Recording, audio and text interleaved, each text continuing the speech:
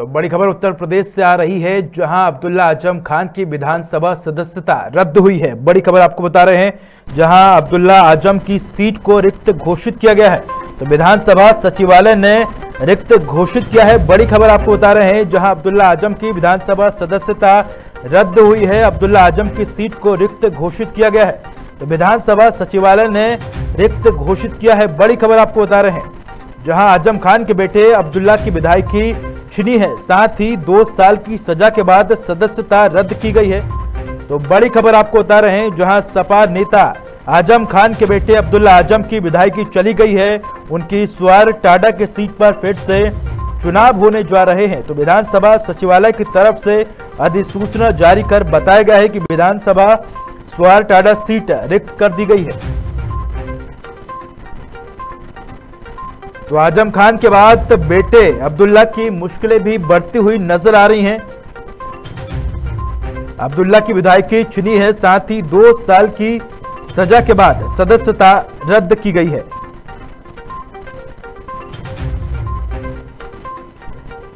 तो अब स्वार टाडा सीट पर फिर से चुनाव होंगे। विधानसभा सचिवालय की तरफ़ से अधिसूचना जारी कर बताया गया है कि स्वार टाडा सीट जो है, वो रिक्त कर दी गई है।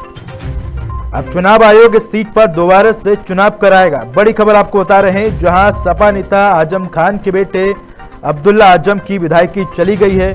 उनकी स्वार टाडा सीट पर अब फिर से चुनाव होने जा रहे हैं।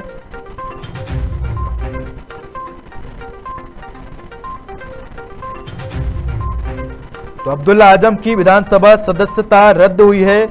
अब्दुल्ला आज़म की सीट को रिक्त घोषित किया गया है। तो विधानसभा सचिवालय ने आपको बता दें कि सीट को रिक्त घोषित किया है।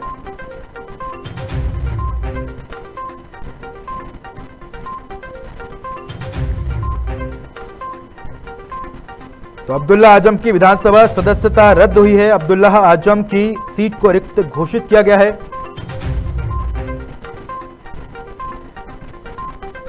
तो इसी खबर पर अधिक जानकारी के लिए हमारे साथ UP channel state head Waqas Warsi ji जुड़ चुके हैं। वकास जी, अगर बात करें तो जिस तरह से आज़म खान की मुश्किलें बढ़ी हुई थी, अब ऐसे में हम देख रहे हैं कि उनकी बेटे की मुश्किलें भी यहाँ बढ़ती हुई नज़र आ रही हैं।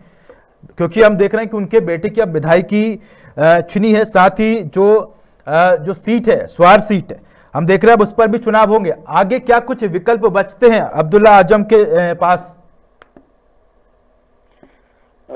देखिए उदय आपका सवाल बहुत लाजमी है कि आगे विकल्प क्या बचता है आज़म खान परिवार के पास? क्योंकि अभी कुछ ही महीने पहले हम सबने देखा कि मोहम्मद आज़म खान की सदस्यता रद्द की गई और मोहम्मद आज़म खान की सदस्यता रद्द होने के बाद विक्रम सैनी जो मुजफ्फरनगर खतौली से विधायक थे बीजेपी के उनकी सदस्यता विधानसभा सदस्यता रद्द हुई।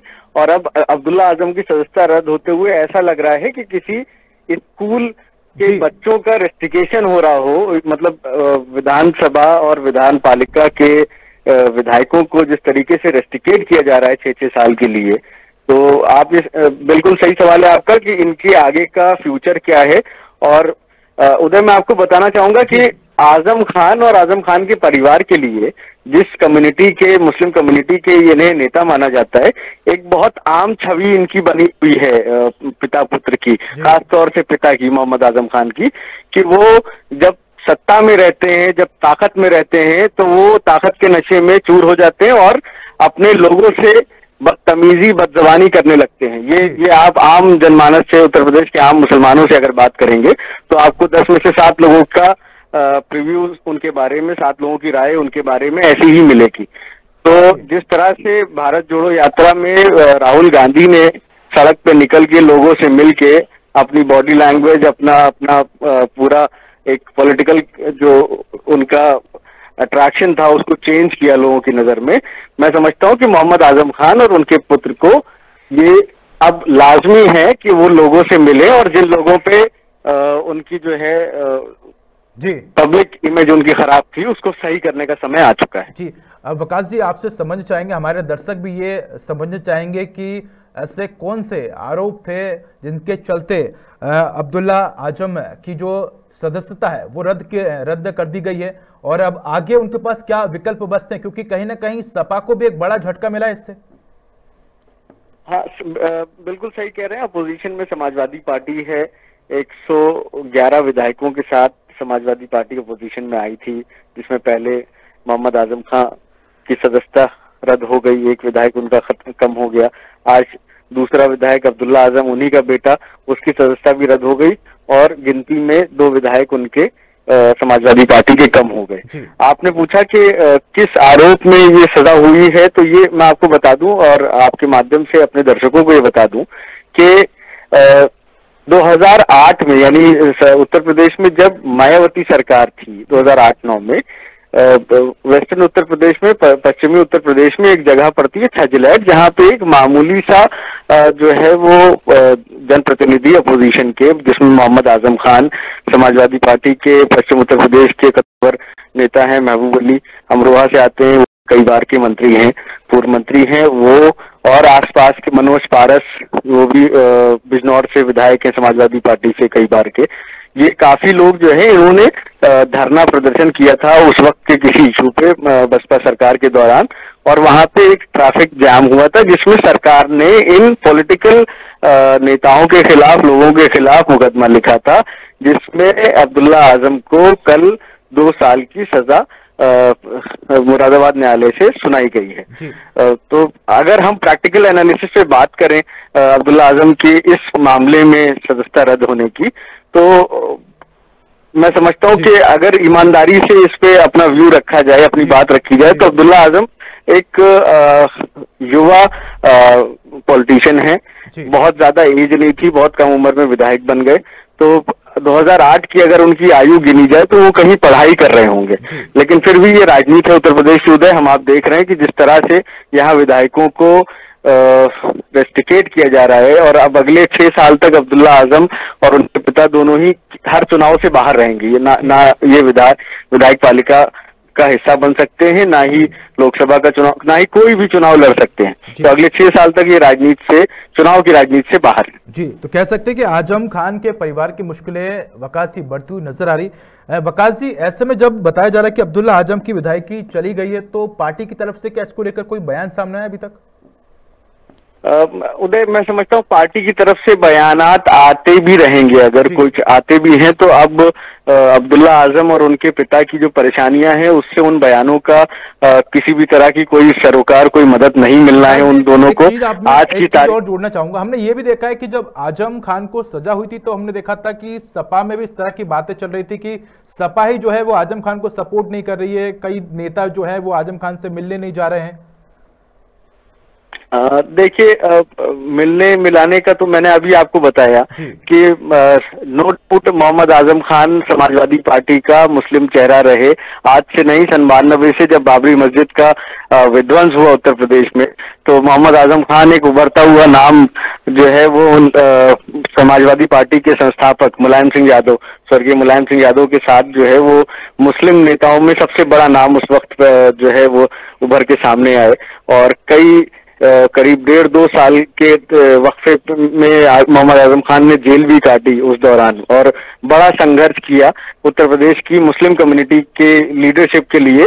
मोहम्मद आज़म खान इकलौता नाम हुआ करते थे लेकिन जो राजनीति उत्तर प्रदेश और देश में आज जिस पैटर्न पे हो रही है तो आप आप और हम क्या जनता भी ये सीधा साफ़ समझ रही है संदेश कि मोहम्मद आज़म खान का जो रवैया था और जो स्टैचर था समाजवादी पार्टी के अंदर, आज वो नहीं बचा। जी वकास जी, जैसे कि अब सदस्यता रद्द हो गई और सीट भी खाली हो गई, अब आने वाले वक्त में इसमें चुनाव भी होंगे। ऐसे में अगर बात करें तो दोनों ही पार्टी की तरफ़ से, क्योंकि अगर बात करें तो आज़म खान की मज़बूत पकड़ थी, उनके बेटे की यहाँ मज़बूत पकड़ थी।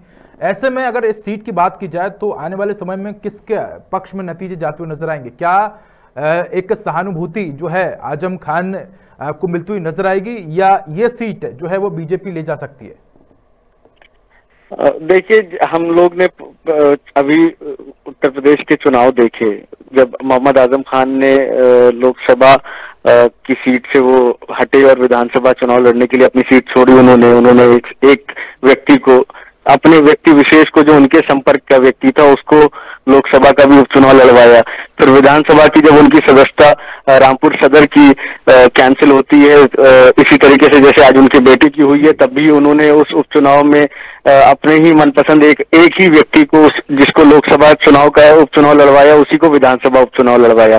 तो जब तक ये परिवार और मैं कहूँगा मोहम्मद आज़म खान ये व्यक्ति विशेष की राजनीति करते रहेंगे तो ये नुकसान जो इनका ऑलरेडी पॉलिटिकल नुकसान हो चुका है, इस नुकसान की भरपाई भी नहीं हो पाएगी भारतीय जनता पार्टी वहाँ दोबारा स्वार सीट पे, जहाँ उपचुनाव होना है, अब्दुल्ला आज़म की सीट पे, वहाँ भारतीय जनता पार्टी फिर से जीत दर्ज कर लेगी। अगर मोहम्मद आज़म खान की स्ट्रैटेजी नहीं बदली, और स्ट्रैटेजी उधर इसलिए कह रहा हूँ, मैं दर्शकों को बताना चाहूँगा, मोहम्मद आज़म खां के बहुत सारे फैसले समाजवादी पार्टी प्रमुख अखिलेश यादव, बाकी अन्य पार्टी नेताओं के मुकाबले में ज़्यादा मानते हैं, क्योंकि मोहम्मद आज़म खान का एक डर जब ये सरकार में रहते हैं तो इनका एक कागज़ ये बताते थे कि रखा रहता था ऊपर की जेब में और वो इनका इस्तीफा होता था कि किसी भी बात पे जब ये रूट जाते थे जी जी। तो मोहम्मद आज़म खान मशहूर थे कि वो अपना इस्तीफा पार्टी प्रमुख को पेश किया कर दिया करते थे। जी। वकास जी धन्यवाद आपने हमारे दर्शकों को जानकारी दी उसके लिए धन्यवाद आपका। तो बता दें कि अब एक बार फिर से आज़म खान परिवार की मुश्किलें बढ़ती हुई नज़र आ रही हैं। अब्दुल्ला आज़म की विधानसभा सदस्यता रद्द हुई है। अब्दुल्ला आज़म की सीट को रिक्त घोषित किया गया है। तो विधानसभा सचिवालय ने सीट को रिक्त घोषित किया है बड़ी खबर आपको बता रहे हैं।